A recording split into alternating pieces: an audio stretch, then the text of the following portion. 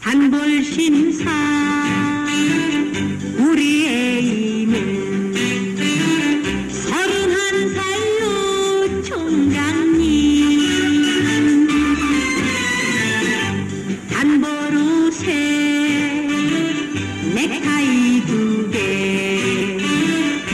언제나 변함없죠.